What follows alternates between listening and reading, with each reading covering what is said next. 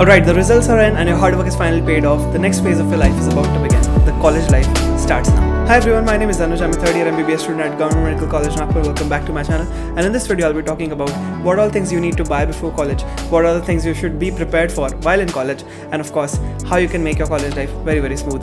Without any further ado, let's go. So if you're a med student, the signature of your existence is an apron. So as you can see, this is my apron right over here. And by, by this apron, people are going to recognize that it is you and they will give you respect. Uh, so one thing I want to point out is that respect this piece of cloth, alright? This is not just a white piece of cloth, it's so much more. You have put so much heart and effort into getting this white piece of cloth, right? Don't ever disrespect it. Alright, so where do you get an apron? You get it usually from the college shops, but you can also buy it from the outside. You can also have engravings of your college name, of your own name, depends on which college or university you're enrolled in. I recommend buying at least two aprons in the starting because you're going to need to shift a lot between the weeks and there's going to happen that one of your aprons gets spoiled initially in the first two or three months. So you definitely need to buy another one. So start with two aprons. It's going to be more than enough for all your practicals. And if you're in a hostel, I definitely recommend at least three aprons so that you don't have to worry about washing the apron and pressing it so that you always have some spares available.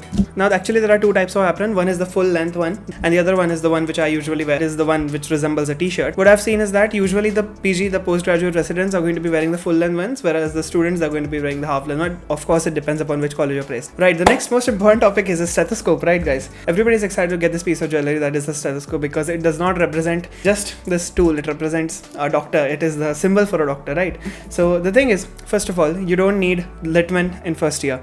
I know we are all excited to get this Littmann stethoscope. This is not mine this is my father's. I don't see any need to use this stethoscope in first year. Practice on microtone or practice on any different stethoscope which is of low budget because Littmann is going to cost you uh, anywhere around 10,000 12,000 depending on where you're going to be buying etc so for all the first year students my recommendation is a microtone stethoscope because if your parents gift you a Littmann stethoscope don't refuse it but you don't actually need one in first year. So don't waste your money 10 or 12,000 rupees just buying a stethoscope. So where do we buy this equipment uh, the stethoscope you can buy it in any medical shop or you can order it online. It should cost around 6 to 700 depending on which brand you buy. Right the next thing is scrubs. What is scrubs? So scrubs is called as an OT dress which you go ahead in the operation theater. So for all practical purposes in first year MBBS you're not going to be going in the OT uh, because in first year you're going to be learning about physiology anatomy and biochemistry and not about surgery or orthopedics or gynecology etc so no OT for you guys. So in first year you do not need an OT dress. Right. That if you're a second year student watching this definitely you need one because your posting is going to be starting and you're going to be going in the OT regularly. Next thing is a BP apparatus. What is it called? It's called a sphygmomanometer it is used to measure the blood pressure. So your blood pressure practicals are going to be starting in first year itself in physiology and it's going to continue in every single year in literally every single case that you're going to take one of the vital parameters is blood pressure. So buy a sphygmomanometer and practice taking bp many many times because that is something which is very basic and still many people don't know how to do it. Right the next thing is the bone set. So what is a bone set? A bone set is a collection of bones and this is required to study anatomy in first year because in anatomy you're going to be studying literally every single bone of the human body every single muscle ligament and then everything about the human body. So you need a bone set to uh, understand and get to know about the bones. So where do we buy this bone set from? You buy it from the senior or you buy it from amazon people can't usually sell real bones on online websites so in amazon you're going to be finding the plastic ones. But if you're getting it from a senior it might as well be a real one the things to consider while before buying a bone set is first of all is it bilateral or unilateral? Second thing whether it has a skull and a sacrum because those are the things which are only one in number and if you're buying a unilateral set then it might be difficult to get your hands on those. What happens is that in the end no matter which bone set you buy just make sure that you read anatomy because otherwise no matter how good your bone set is you won't understand anything. You can see this is my bone set and i named my bone set as david because i like to give names to things. And uh, this is the skull and you can see I've placed it in different videos of my channel of course. If it's a bilateral bone set it will cost you around 10,000 because uh, I bought it from a senior from 10,000 rupees. Right the next most important thing is the clothes. So whenever you're going to college you feel like you're gonna have this vibe. You're gonna wear leather jackets you're gonna ride a bike. That's not the reality in first year MBBS my friends. The reality is that most of the colleges in India in fact uh, in Maharashtra say 90% of the colleges uh, in first year MBBS you're not allowed to wear any sort of fancy clothes. You're not allowed to wear jeans. You're not allowed to wear t-shirts. And you're not allowed to wear sports shoes. So this is the attire of a first year student. You can see uh, there's a formal pant there's a formal shirt and there's an apron there are formal shoes and you have to be clean shaved absolutely. You don't have to have long hair. If you are in AFMC they have got a separate uniform for their entire candidates. So that's the thing. Don't invest in clothes which you're not gonna wear. Of course in hostels you have to get to wear your casual clothes but whenever you're in the college there's no need to wear. And now people ask me why, why is the reason why is this being done? So the thing is guys when you're becoming a doctor when you are starting on a medical journey you, there's some ethics there's some etiquettes a doctor doctor has a particular appearance, there has special characteristics to a person. The doctor is not an ordinary person. A doctor has the ability to save someone's life. So it's a pretty big deal, and you have to learn how to behave like a doctor, how to dress like a doctor. So all of these are things which you're gonna find in medical colleges. So make sure that you don't buy any unnecessary clothes in the starting. Just go ahead, talk to your seniors, talk about what the dress code is, and buy the clothes accordingly. If you're a girl, uh, then I think the it is called a kurti, salwar kurti. I think I don't exactly know the nomenclature, so I think it's a salwar kurti uh, that you guys have to wear, girls have to wear actually. right. So those were the essential things. Now comes the sort of non-essential things that you may or may not want to buy, but in my opinion, everyone should have. So the number one most important criteria that you need to consider over here is that getting a good mobile phone because every single update, every single photo you're to take, every single time a call you're to be picking up, that's all going to happen around your mobile phone. It should have a good battery life, it should have a very good camera. Buy a good phone that will last you around 5 years and you can use it through and through. Right, the next most important thing is getting yourself a good pair of headphones or earphones, whichever ones you prefer. I personally prefer headphones. The reason is because I don't like to put things in my external auditory canal. I want it to be over my ear. So this is an over ear headphone and this is from Boat. It does sound very nice and I definitely recommend these ones for anybody who is willing to buy them. The next thing that you're going to need in college is a good speaker because whenever you are in group activities, whenever you are let's say decorating the hall for Ganesh festival celebration or decorating something else because you're the one who is placed in decoration group because you lack any sort of other skills in life. But anyways, this speaker really helps you socialize. Just keep the speaker and everybody will gather around it. People like to hear songs. Right. So the next most important thing is about the iPad and this my friends is an essential for your college. Get yourself an iPad because this is the device that's going to change your life completely.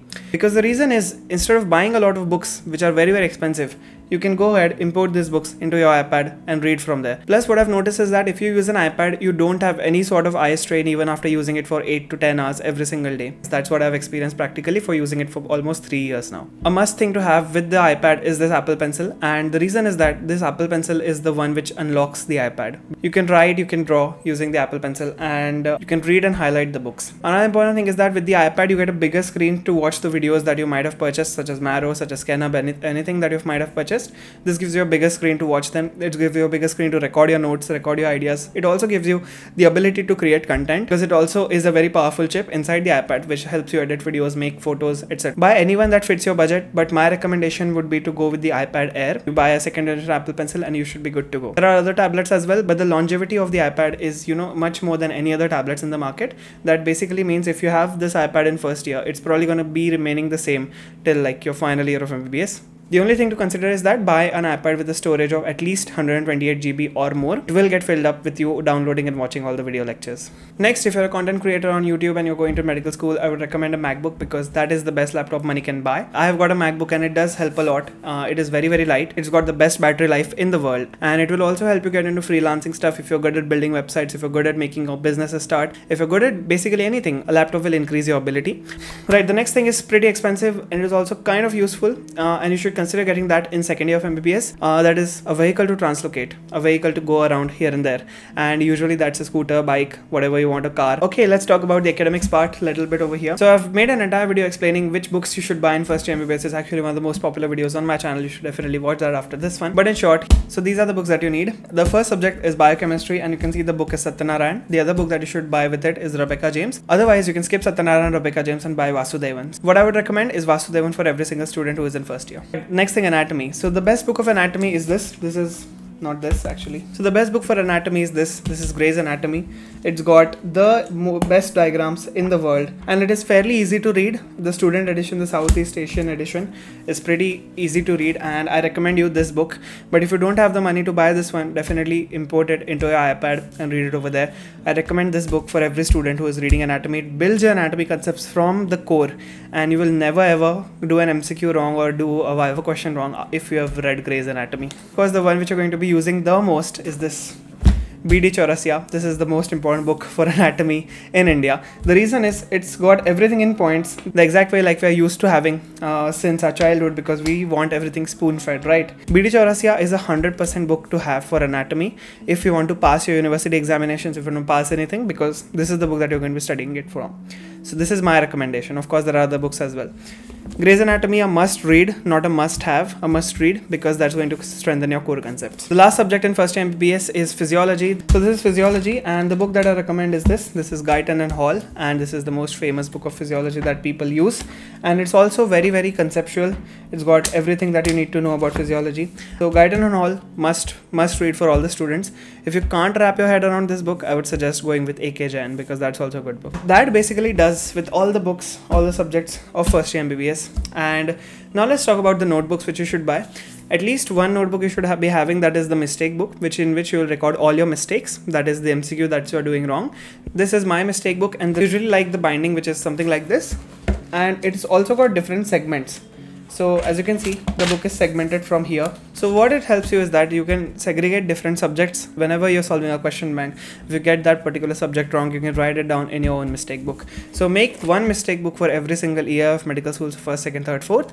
And buying something like this will be just more than enough because of course the divisions are already present in this one. Apart from that you will need at least one copy per subject to record all of your classes. Write down all the lecture notes in your copy. The next thing is a subscription of kenhub would be really really essential for you. They're actually a site dedicated for teaching anatomy and anatomy is the most difficult subject of first year. What they've done is that they've got all the 3D diagrams, they've got a fun and interesting way to tell about a part of anatomy through their videos and they're very very clinically oriented. You can use my link and get a 50% off on any plans of Ken. It's gonna cost you less than 900 rupees per month and it is very very effective. So go ahead with the Kenhub subscription. Right, the last thing of this video is what should you do pre-college. So pre-college first of all study up, watch the different lectures etc. Second, I've got an entire playlist that is Welcome to Med School on my channel. Make sure that you go ahead watch every single video of that playlist because it's going to make your life so much easy. Next thing is that spend some time with your family and friends because most likely you're going to leave them and leave the place that you were born and go into some different place for studies and most likely never come back after you left the house. Lastly, embrace that this is an experience which you're going to be having and it's going to be filled with so much fun, so much laughter, so much joy and sometimes bits of sadness, bits of regret, but it's honestly okay because medical school is the best course in the entire world and it's going to give you so many things in life uh, I can't even begin to describe. Make sure that you start your journey of becoming a doctor with a mindset that is positive and go into the course with no fear but only excitement. Anyways, if you haven't already subscribed to the channel, please consider doing so because I make videos such as this one and of course, please make sure to view that playlist before you go. All the links are in the description. Please smash the like button if you like the video and thanks a lot for watching. It's your Anuj. I'll catch you in the next one. Bye.